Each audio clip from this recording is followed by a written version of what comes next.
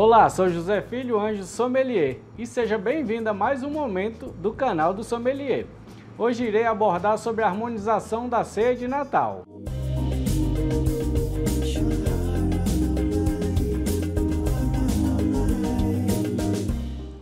Para harmonizar as entradas da ceia de Natal, as frutas, os canapés, nada mais interessante do que o espumante brute. Também pode ser o rosé, também Brute, né? Ele vai harmonizar perfeitamente com as entradas, além de limpar suas papilas degustativas para receber melhor o alimento.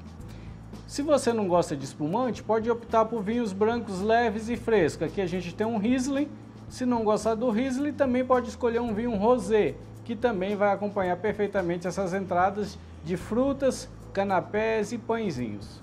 Harmonizar Peru e Chester não é nenhum segredo para nenhum sommelier mas você deve se atentar aos óbices do prato, né? Alguns pratos são elaborados à base de agridoce, como frutas e castanhas caramelizadas, e até também aquela típica farofa com uvas passas.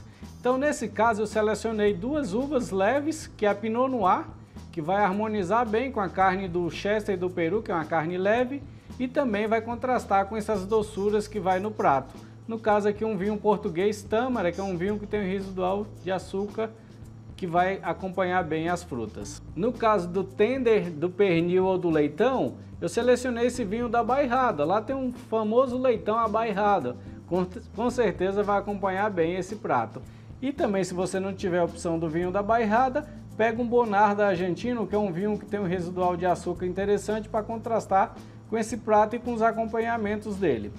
E se você não larga a mão de um bom bacalhau, selecionei dois vinhos Chardonnay que vai acompanhar bem seu bacalhau. Se você não gosta de acompanhar com vinho branco, tem a opção de tinto, mas procure tinto sem madeira. No caso das sobremesas à base de frutas, dê preferência aos espumantes moscatéis. Se for aquela rabanada, aquela torta de maçã, um moscatel de Setúbal, um vinho português vai acompanhar perfeitamente. É isso, pessoal. Espero que tenha gostado de mais uma dica aqui do canal do Sommelier.